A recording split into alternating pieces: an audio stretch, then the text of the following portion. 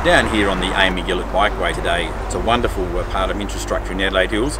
Very, very keen to get this project finished and running all the way up through to Mount Pleasant and Birdwood.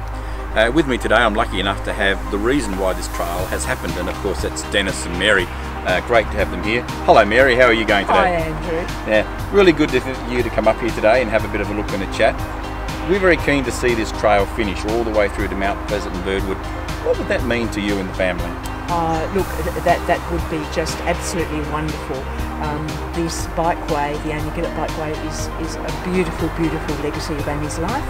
Um, we have wonderful, have had wonderful times up here, and you know, just to have this finished would mean um, such a lot to us in, in, in memory of our daughter. I speak to a lot of people from throughout the district who are very, very keen to use this trail in its entirety.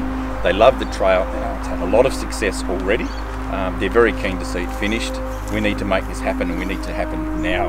Uh, we need to get it done, don't we? Absolutely. I was in the city the other day, and a man came up to me in Grote Street and said, "Are you Mary Safe?" And I said, "Yes." He said, "Well, what are you doing to finish this bikeway in the hills?" So uh, even down in the city, people are saying this to me. So yes, it would be a wonderful.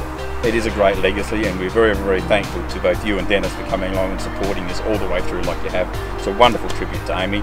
We're very, very proud to have her as part of the Adelaide Hills, and we look very much forward to finishing the project and getting it done all the way through to its entirety. Thank you. You. And lots of people can come and enjoy it. Thank you very much, Mary.